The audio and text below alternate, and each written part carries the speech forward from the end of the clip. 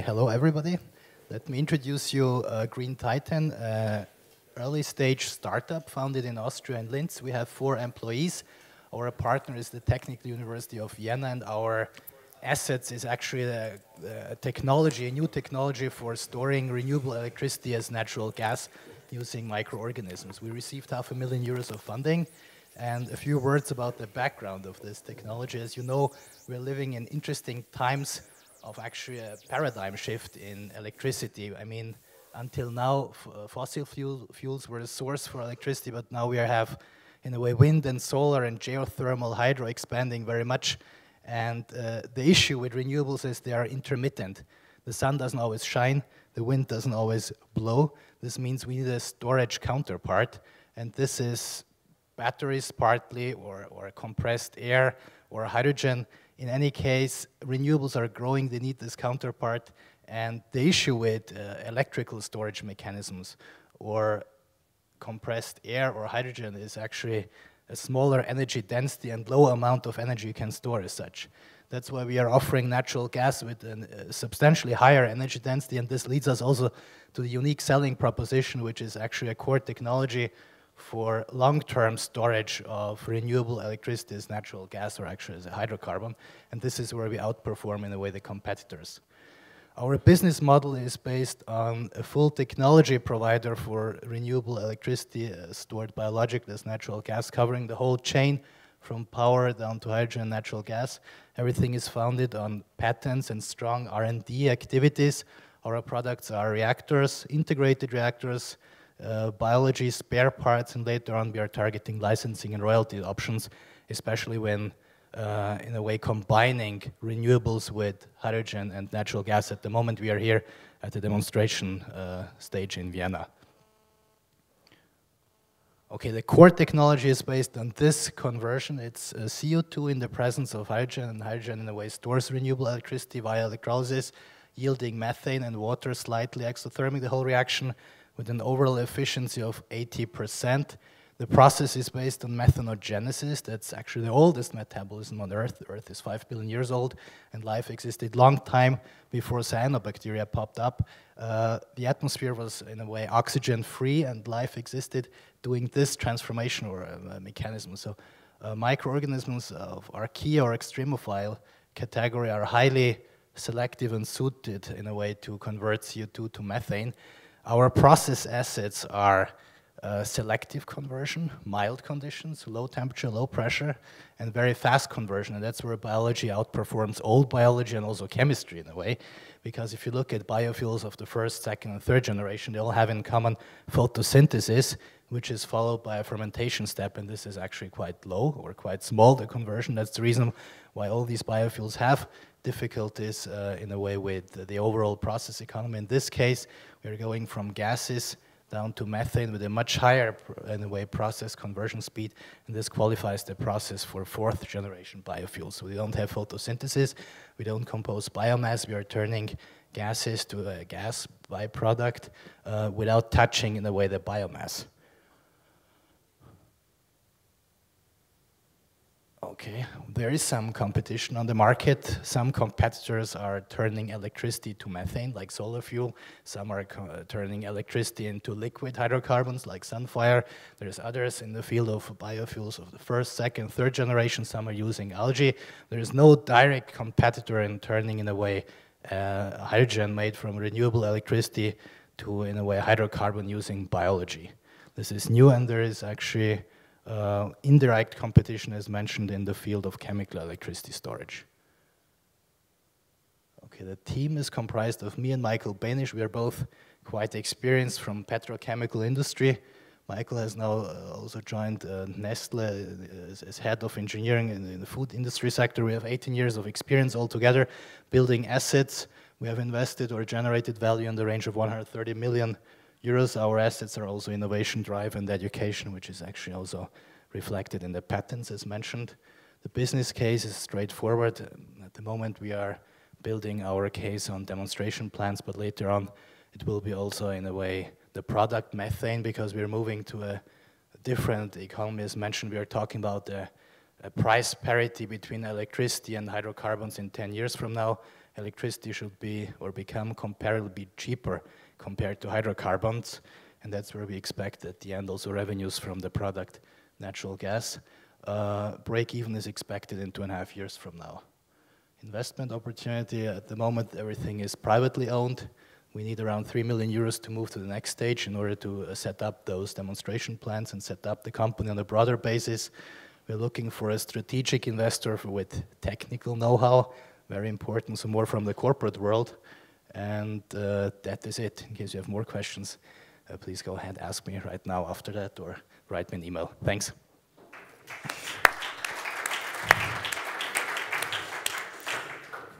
Any questions on the floor?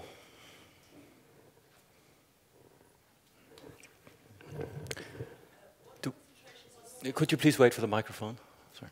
Thank you. Hi. Um, yeah. What concentrations of CO2 do you need and where do you take it from? Because atmospheric okay, that's a good CO2 question because everything breaks down to the CO2 source. As mentioned before, biology is selective and we can use any CO2 source. We can use, uh, in fact, we prefer enriched sources, and we have uh, experimented already with biogas having 50% CO2, and we are perfectly capable to convert the mixture of CO2, methane, H2S, and other bicomponents into methane by substituting the CO2 part with methane using this technology. So 50% is okay.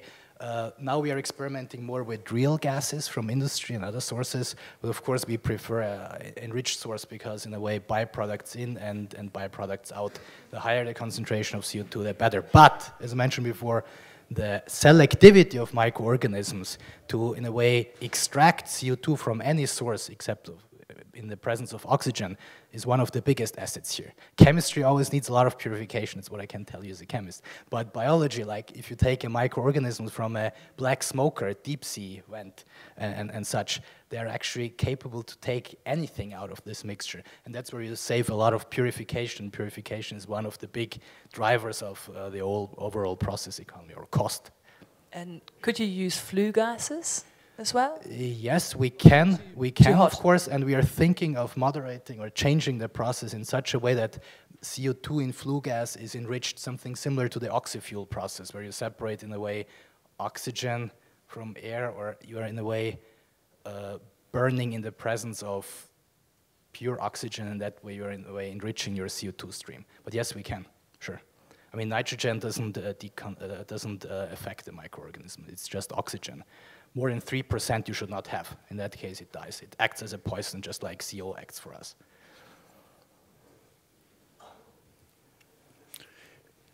On the other side. Thank you.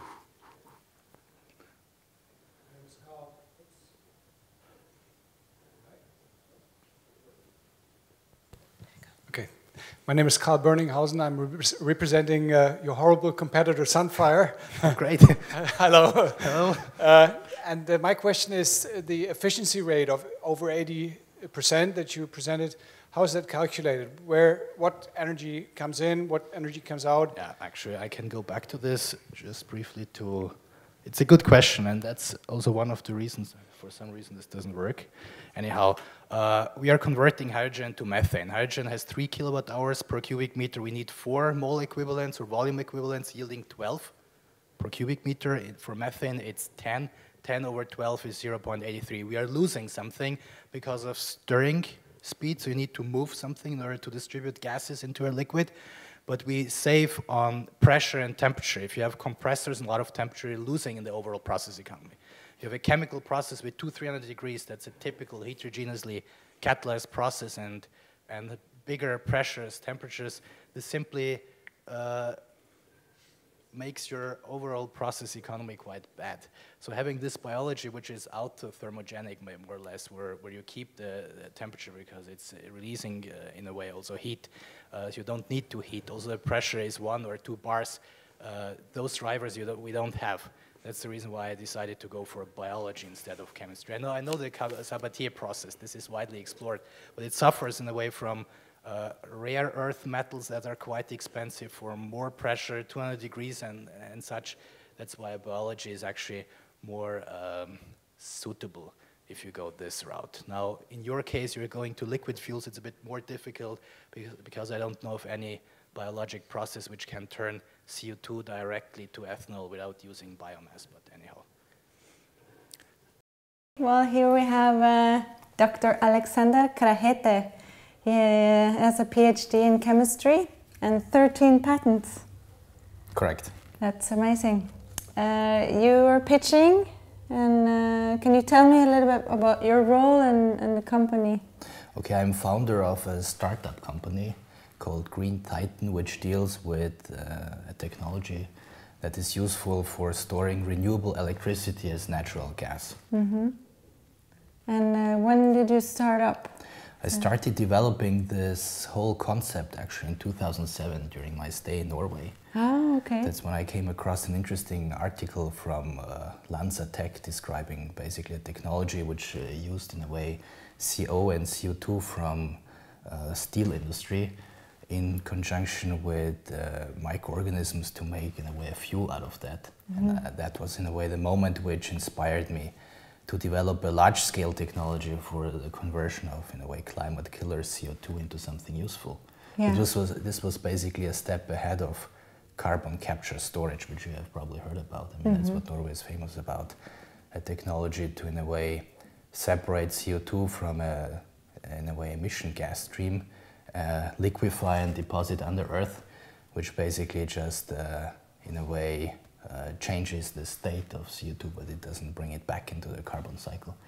So yeah. the idea was to, in a way, come up with something new, which would, in a way, use CO2 as a raw material. A lot of innovation, and I know right. there are other companies here at the summit uh, also using CO2 right. to create energy. Exactly. Yes. So that would be a good match. That's a you. good match, but there is a substantial difference. I can mention that because you will ask me probably about the uniqueness of the whole thing, or that's what people are uh, wondering in general. How do you position yourself? I mean, most of those processes, which in a way use uh, CO2, are based on chemistry. Um, I'm a PhD chemist, but I'm not using chemistry. I'm using biology for one specific reason. Biology is milder in a way, so the conditions are better, the process economy is better, because at the end of the day, everything boils down to the economy, to mm -hmm. the process economy as such then selectivity plays a role. Can you only use CO2 which is 100% uh, clean, mm -hmm. or can you utilize industrial CO2 sources or biological CO2 sources? All that is much better when you're using uh, biological means, like mm -hmm. microorganisms, which are highly specialized to convert CO2 because their metabolism is based on that. And that's what we have. We have archaea microorganisms which basically dominated Earth's surface for 4 billion years. Mm -hmm. I mean, the mm-hmm. Earth is 5 billion years old and life exists for a long time, but without oxygen. So 50% of that time was dominated by special microorganisms we haven't been aware of until mm -hmm. the late 70s when they were discovered as an own life domain. So they're mm -hmm. called archaea. Now they're living uh, in a way subsea, under Earth, in volcanoes, in all those special places which are deprived of oxygen. And those microorganisms we have taken away uh, and we have developed a process to convert CO2 into natural gas. Wow, that's, that's a quite pretty uh, amazing. Uh, far-fetched approach, put it that yeah. way. Are there, are there competitors out there? There are competitors uh, who are following the concept of uh, storing electricity as natural gas, but as I mentioned, using a chemical mm -hmm. conversion process from. CO2 to methane. It's the Sabatier process, more or less. Mm -hmm. There's other companies who are converting CO2 to a liquid fuel, like Sunfire, for instance. Mm -hmm. There's a lot of them who are converting biomass into whatever mm -hmm. biogas or let's say bioethanol or biodiesel. There is uh, biofuels of different generations, yeah. but they all together don't use uh, a monoculture, one specific microorganism of that type, not at all. Because this is also an anaerobic process, which in a way functions in the absence of oxygen. Okay, usually. so are you at the seed stage now? How much yes, capital that's where I am. do you uh, need? Yes, uh, I raised uh, around half a million so far in the mm -hmm. last two years. But this is way not enough. Much more is needed to establish a company, to, in a way, build demonstration plans. So I, indeed, I am now in the seed phase. I'm looking mm -hmm. for venture capital, for the right strategic partner. Actually, I'm not so sure that venture capitalists would be the right people here. Uh, it might be better to have a bigger company on board because this is not something which is developed in one, two, or three years.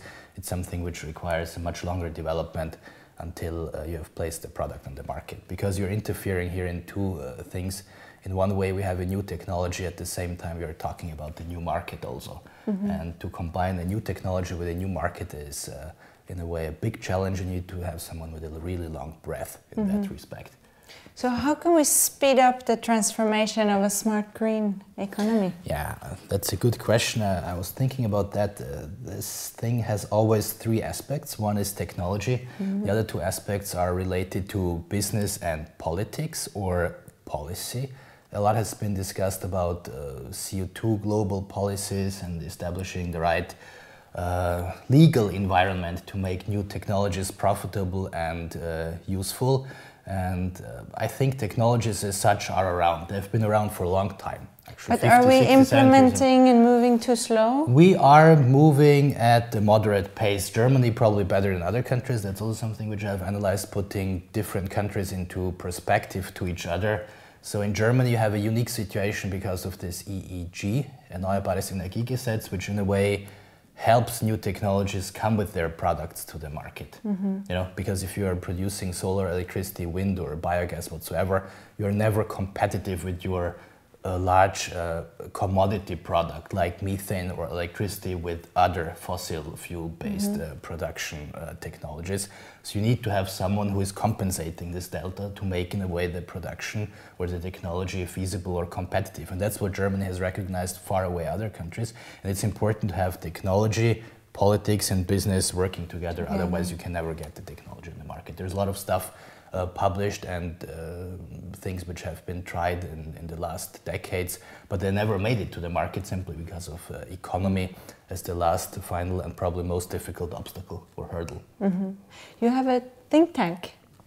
Well, that's actually what we are planning to do. The oh, name okay. Greenthitan is derived from Green Energy Think Tank. Mm-hmm. Uh, so we are thinking um, in, in the far future to establish a think tank. But now it's the whole thing is based on, on the technology I mentioned and on efforts to get the technology on the market. Yeah, and your vision with this, do you bring together certain uh, uh, companies or what kind My of? My vision is actually uh, straightforward. When I developed this technology a few years ago, it was based on the idea to provide a large scale technology that would, in a way, utilize CO2 in big scale. Mm-hmm. Because everyone is complaining there is billions of tons of emitted CO2, but there is no anthropogenic or human made technology which is using CO2 in large scale. So the mission or vision in the beginning was to come up with something that would use CO2 as a raw material, but not to make polycarbonates, something with a small market, but to make something uh, with a big market. Mm-hmm. eventually, it means to turn CO2 back into its origin, into an energy carrier.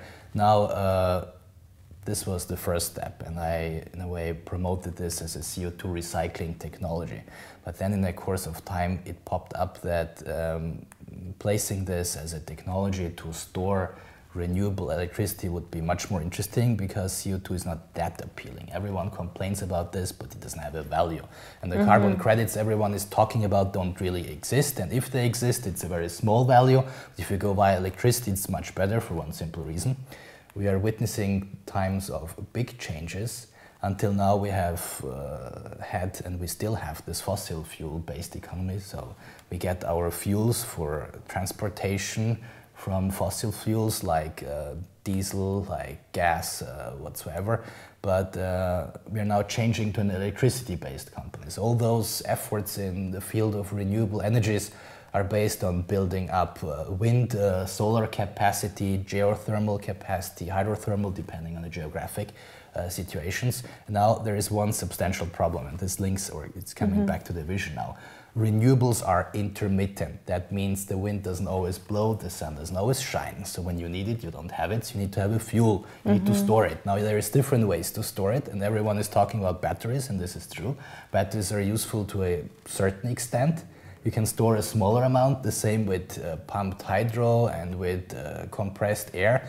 But at the end of the day, you need to have something with higher energy density, and this brings you to fuel. Mm-hmm. So if you're able to turn uh, in a way the growing uh, electricity uh, amount into a fuel like uh, natural gas or ethanol or whatsoever, which is transportable with a higher dens- density, then you would have the right pair for renewables. So renewables are growing and they are forecasted with a two-digit growth all over the mm-hmm. world, and they need a storage uh, counterpart. And that's where we see the vision to provide a large-scale technology to store renewables as natural gas. Yeah. Do you think we can become 100% renewable? Uh, it all depends on the geographic conditions. I mean, not mm. every country has access to a lot of wind or solar or uh, geothermal or hydro, which is basically the prerequisite or the main requirement mm. to become renewables but some countries do, like Iceland, and they are partly. And Germany has huge capacities of wind, which it can still exploit. I don't think 100% that fast. and wave energy, there hasn't been too much talk about uh, wave. Wave energy is something in development. I guess I'm not the most mm. competent mm. to judge wave and tidal energy. But uh, sure, if you are focusing more on uh, exploiting all those technologies, I think um, altogether we might uh, come up in a couple of decades and cover all our energy need from renewables exclusively. Yeah. So what are you uh, most looking forward to uh, today at the I'm speeches? looking forward to meeting interesting people. I, I see there's a lot of representatives of, from actually competing companies. It would be interesting to see what they're doing. Mm -hmm. And uh, yeah, except for that, um, right, I look forward to presenting what I'm doing. Yeah. And uh, that's maybe it. we can uh, change from competition to collaboration. Exactly. Yeah. right. It's Would always uh, i mean uh, borderline yeah. between competing and collaborating. Good. Well thank you so much for coming. Thank you. It's been great